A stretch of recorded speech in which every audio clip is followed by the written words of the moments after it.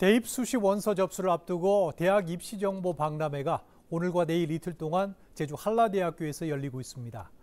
네, 현장에는 관심 있는 대학의 지원 가능 점수와 유의 사항을 상담하기 위해 많은 수험생과 학부모들로 북적였는데요. 대학 입시 사정관들은 희망 학과나 분야를 미리 정한 후에 상담을 받는 게 상담 효과를 높일 수 있다고 조언했습니다. 이정훈 기자가 보도합니다.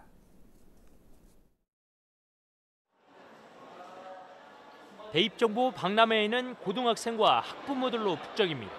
각 대학별 부스에선 입학 사정관 등이 수험생들과 1대1 입시 상담이 이어집니다.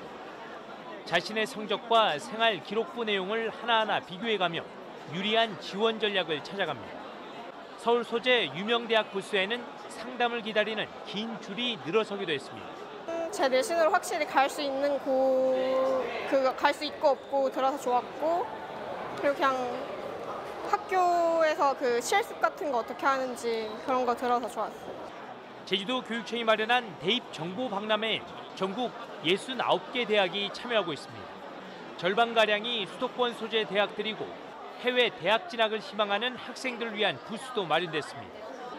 오는 9월 대입 수시 모집에 지원해야 하는 수험생들에게 맞춤형 입시 상담을 하는 기회가 됐습니다. 학생부 종합이랑 교과 전형이라서 물어봤는데 이제 수능 최저랑 관련해 가지고 제가 질문 좀 많이 드렸어요. 각 대학 입학처 관계자들은 제한된 상담 시간 속에 수험생들이 미리 자신이 원하는 진로와 희망학과에 대해 알고 상담에 임하는 것이 효율적이라고 조언했습니다.